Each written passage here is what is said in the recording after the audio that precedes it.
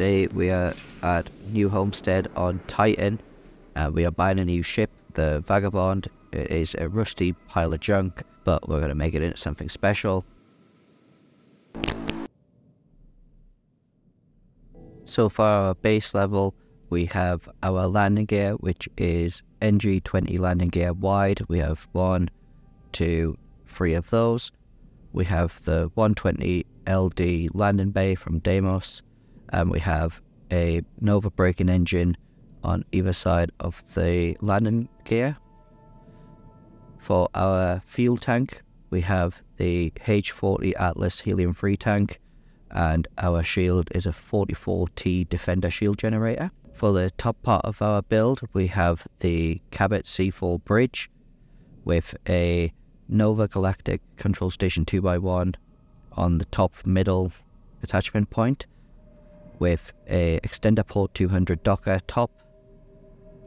Then we have our DC 303 fast ignition reactor and RD 3000 beta grav drive with our Hercules DT 160 engine in the back. On the left we have Nova Cowling 2LSM with a Nova Galactic Workshop 2x1 and a Nova Cowling 2L SA. And further out from that, we have the Nova Cowling 2L SF with another Hercules DT 160 engine. And on the other side, we have Nova Cowling 2L PM with a Nova Galactic Science Lab 2x1 and a Nova Cowling 2L PA. And then on the outer edge, we have Nova Cowling 2L PF with another Hercules DT 160 engine. We're going to select all of that, and that will slot nicely onto the top of our ship. Just like that. So it covers our fuel tank and our braking engines. Here's our rust bucket all finished up. I need to just give it a lick of paint. For the colour scheme, I've gone with the default Nova Galactic colouring.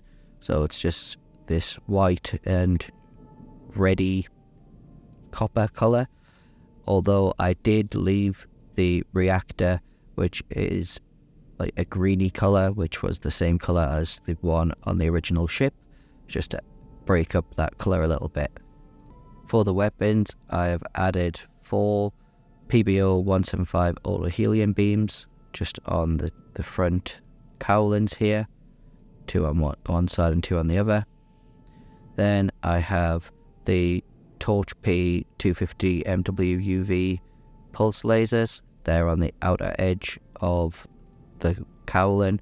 And then I have four Firebolt 4000 suppressors just on the back here.